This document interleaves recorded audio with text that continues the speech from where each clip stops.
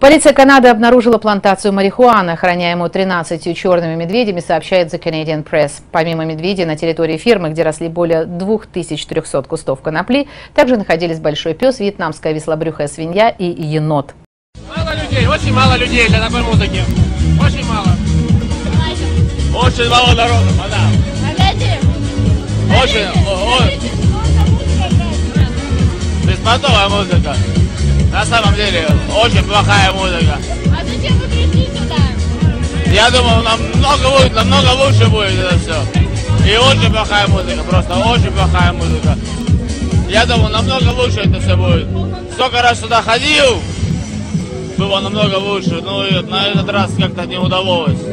Во-первых, народу мало, музыка не очень. А что за направление? А?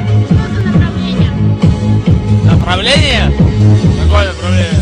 Что за направление музыки играет там?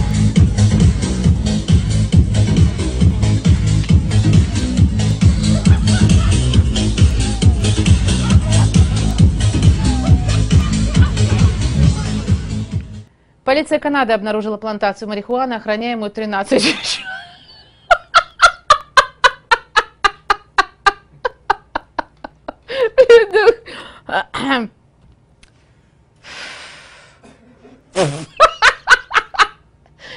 Oi.